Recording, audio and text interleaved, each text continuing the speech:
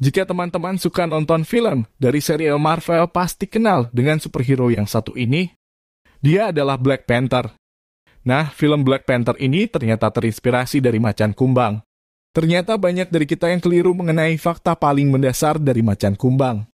Kita berasumsi bahwa macan kumbang atau panther adalah spesies kucing besar yang sepenuhnya terpisah. Namun macan kumbang sebenarnya adalah kucing besar yang juga sama dengan jaguar atau leopard. Persebaran macan kumbang berada di Afrika dan Asia. Macan kumbang adalah karnivora dan umumnya memangsa herbivora berukuran kecil sampai sedang. Kecakapan berburu binatang ini begitu hebat. Salah satu faktor terbesar yang membedakannya dari kucing besar lainnya adalah kemampuannya berburu secara sembunyi-sembunyi. Macan kumbang adalah hewan nokturnal berburu di malam hari.